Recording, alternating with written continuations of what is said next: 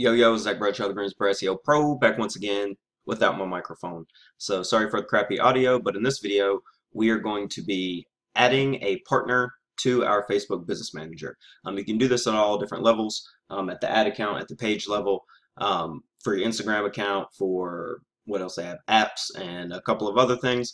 Um, but I just want to start off by showing this video if you are an agency or have an ad account and you are or have a business manager account and you are looking to become somebody's partner it can be very confusing as to where to find your ID um, you know that's what happened to me because there's ad account IDs there's page IDs and they're all different um, but the easiest way to do it is just to log into your account go to like the basic homepage um, and then copy it from the URL at the top, right? So that's what I'm going to do.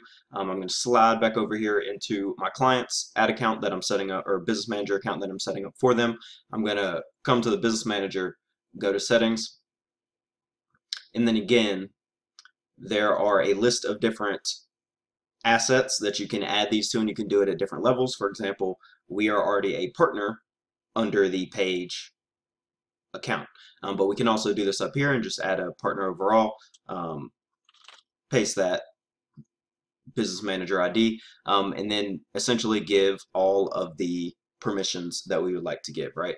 Um, so you see up here, assign assets to Greensboro SEO Pro, um, and we're just going to do all of them because it's just so much easier for us to be able to um, do things. But this is on the page level. Then we have accounts, so we're going to set this one here. Um, let's make sure these are, so you have to make sure that the asset is selected. So if, if she, for example, had multiple pages, there'd be pages here. And now that I'm a partner, she would get to choose which different pages that I have access to. Well, she only has one page. She only has one ad account. Um, and so that's enough for now. There's also apps and you know what? She somehow has a pixel set up on her website, but it's clearly not um, set up in the typical way. I was wondering about that because I sure couldn't find it before. Um, and we will figure that out um, from here on out. But um, so if there were multiple accounts in here um, for ad accounts or for pages, then we could add those. And obviously you have the different permission levels over here. Um, if you're doing this for us, you probably just want to give us full admin accounts, um, but you want to make sure that whoever you add your permissions to, um, that they are somebody that you can trust, right? by adding us as admins, we are now able to, you know, like I can assign users within my ad account and different things like that. But there's a lot that can be done with these different management things and you can have people set at all different levels so I'm not going to get into the weeds on that one. I just wanted to show you um, how and where to add um, the ID I could have done it at the individual levels but you saw I went to um, and this is going to save I went to the top up here um, went straight to partners um, and just added Greensboro SEO Pro as a partner. We were already assigned on the page um, and now we've added it to the ad account. If they go and get more um, you know, create more things, um, or you know, if they had a second Facebook page or if they had a um, second ad account, um, then they could add us in the same way there. Um, and then you could do this at the people level, um, which is slightly different. So this is her organization, right?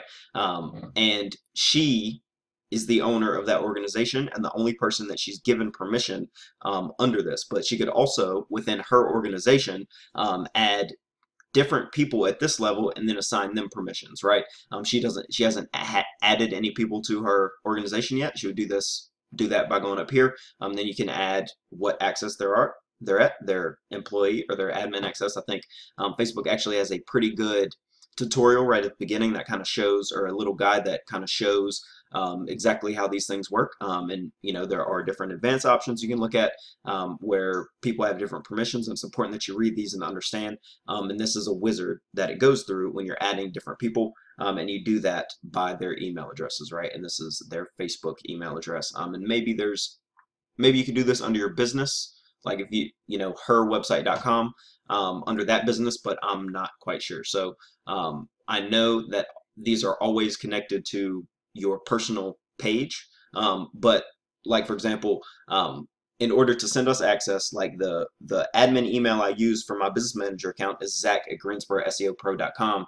Um, that is not the the same email that I use to log into the business manager. When I go to business.facebook.com, I'm using the email address that I use to log into my personal email account or my personal Facebook account, which is an old Yahoo account that I created when I was in middle school, um, and that's you know the same account that I've that my Facebook is under, and I've never changed that. Um, and so, depending on what level of partner or people that you're adding, you know, if you are, you might not need to add a partner account. If you just want to add someone to an organization, if for example you have a freelancer and you just want to add them to your organization and then give them um, whatever permissions correspond to you. So I'll stop rambling about that. This is a video about how to add partners.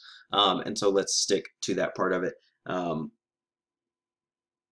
thanks for listening. Um, you can go ahead and like, like and subscribe if you want to. If not, that is cool too. Um, if not, or if you need help with SEO or obviously Facebook marketing or really any other digital marketing, we're always here to serve you. Until next time, I love you. Peace.